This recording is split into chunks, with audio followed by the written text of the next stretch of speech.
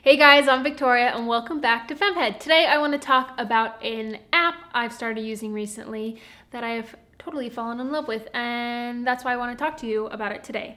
So I've been using cycle charting apps for a number of years now. I think it started with an app that had a very generic name like period tracker app. And then I moved to using an app called Clue, which I've talked about. I will link that video in the description or somewhere, who knows. But then I got the Daysy fertility monitor, which I've talked about, which I also link. And I kind of fell out of love with the app Clue because I wanted it to be more customizable. So I started relying more on the Daysy and less on charting. And that worked great because I had total confidence and still have total confidence in the Daysy's ability to tell me where I am in my fertile phases. But recently I've kind of gotten a, an urge to get more more detailed in my charting and it was actually from talking to one of my coaching clients. She uses Kindara. I think she was showing me something on her Kindara where she had put the different colors of the daisies into the chart and I was like, oh, it's awesome, you can do that. And so I was like, I'm gonna give it a go and I did and I wanna talk about why I love it today. So yes,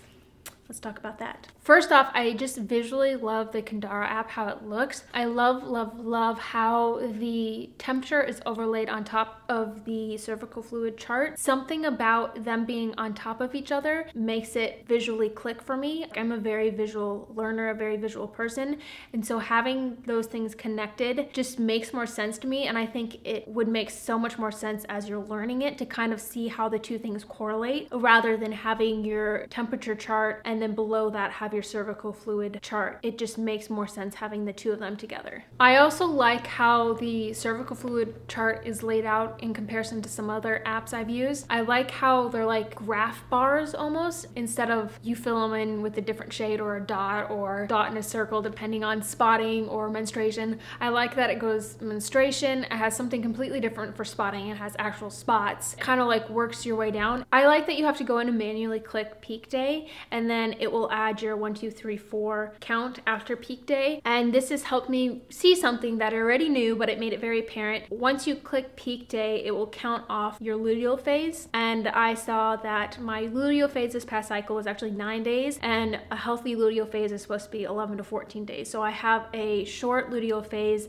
and I start spotting too soon and I spot too long. And this leads into something else I'm going to talk about later on in a different video, which is a progesterone deficiency, which I think I have. One thing I wanted to talk about that was confusing for me at first, but it makes perfect sense now, how to create a cover line in this app. I like Googled how to do it and I couldn't figure out how to do it, but it's so simple. You just click on the graph, anywhere on the graph and hold it and a purple line will appear and then you can move that line to wherever your cover line needs to be. But beyond that, I love that you can chart pretty much anything you want to. At the top, I have the three different colors of my Daysy and then I'll have like how I slept, whether I had insomnia, whether I had eight hours or less than eight hours, my energy level, my mood, whether I was traveling, bloated, acne, I had Mittelschmerz, like you can do anything and I absolutely love that. That was definitely what I was looking for when I was looking for more detailed charting and it's not necessarily things that are gonna show you whether you're fertile or not, like it doesn't necessarily help you prevent pregnancy, but there's so much to charting beyond preventing pregnancy or achieving pregnancy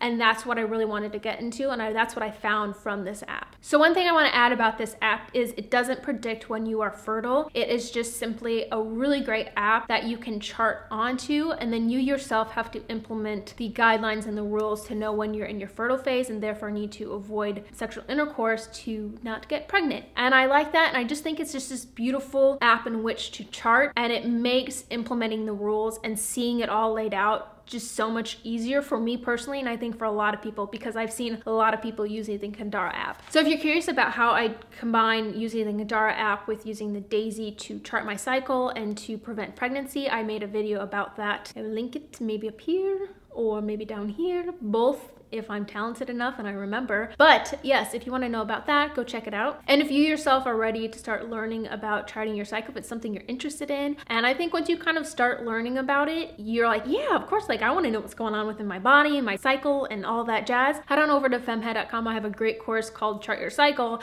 and it's uh, the perfect one for newcomers to any sort of charting method to learn the basics of the symptothermal method to be specific, see if it's right for you and it's something you can implement into your life in one way or another. And yes, that is what I have to say today. Thank you so, so much for watching. Do not forget to subscribe and I'll see you guys in my next video. Bye!